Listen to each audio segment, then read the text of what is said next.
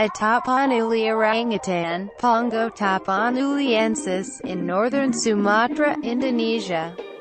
Credit, Maxime Goth a rare Tapanuli orangutan, discovered last year in Sumatra, Indonesia, and one of the rarest animals on the planet, could become an extinct species soon unless urgent action is invoked to rein in on a megadam in China, said a team of global scientists.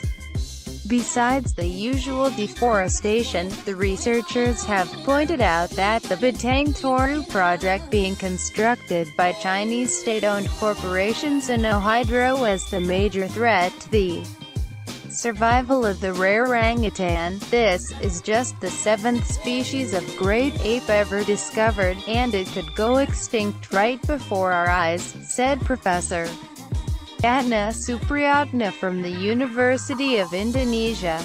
Echoing similar view, William Laurance from James Cook University in Australia, co-author of the study said, in 40 years of research, I don't think I've ever seen anything this dramatic. A baby Tapanuli orangutan, Pongo tapanuliensis, in northern Sumatra, Indonesia.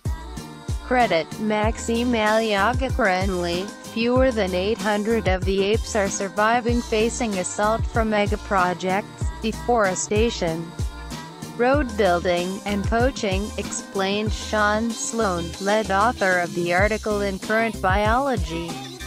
Their entire remaining habitat is unbelievably small, less than a tenth the size of Sydney, Australia, said Sloan.